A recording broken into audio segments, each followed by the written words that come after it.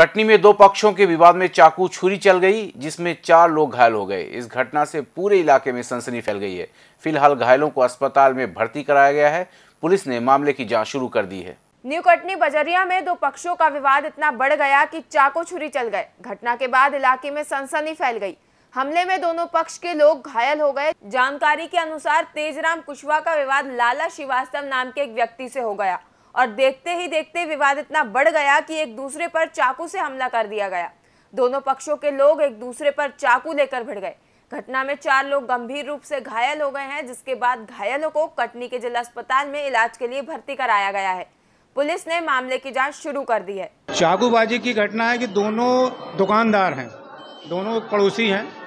कोई ऐसी बात को लेके, व्यापार को लेके बातचीत चल रही थी कि वो उसकी बिक्री कम या इसकी बिक्री, एक जलस की भावना थी दोनों के बीच में। और एक अंदर से गुबार था एक दूसरे के लिए लेके, और एक दूसरे को उन लोगों ने जब मौका पाया कि कहीं कोई बात विवाद फंसी है तो लेके इन लोगों ने एक दूसरे के ऊपर वार किया है, और गलती दोनों पक्षों की है। कोई एक पक्ष नहीं बोल सकते, दोनों पक्ष अपने बहुत साफ़ सुथरे हैं। दोनों पक्ष में कहीं ना कहीं गुबार था, जिसकी तरह से इतनी बड़ी घटना जो घट गई। इसमें कुशवाहा कुशवाहा हैं जो मुन्ना भाई उनके छोटा एक छोटा भाई और उनका एक छोटा लड़का वो घायल हुआ है और हमारे एक ला, लाला जिसे कहते हैं श्रीवास्तव जी वो भी घायल हुए हैं वो जो दूसरा पक्ष है लाला परिवार का है श्रीवास्तव जी है। ये दोनों पक्षों में झगड़ा हुआ और वहाँ पर कोई बचाने वाला नहीं था इसलिए इतना बड़ा हादसा हो गया।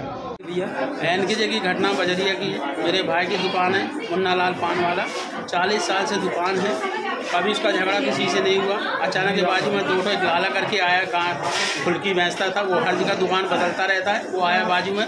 उसके दो लड़के, एक सत्रह, अठारह साल का, एक बीस साल का है। गुंडा कर दिया, दिखा रहे हैं। आज मेरे भाई को चाकू मारा, मेरे भतीजे को मारा, मेरे पेट में ऑलरेडी देखे रहे, चाकू मारा है।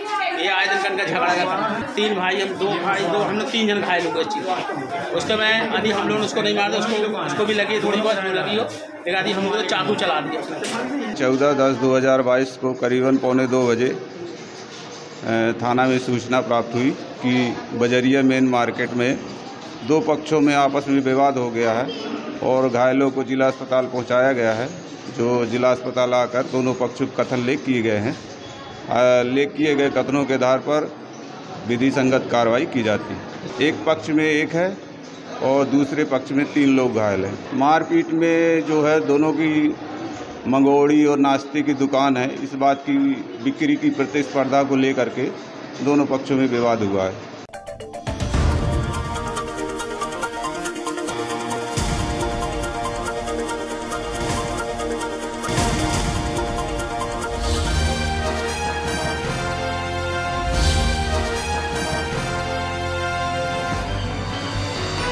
आप देख रहे हैं दखल न्यूज़।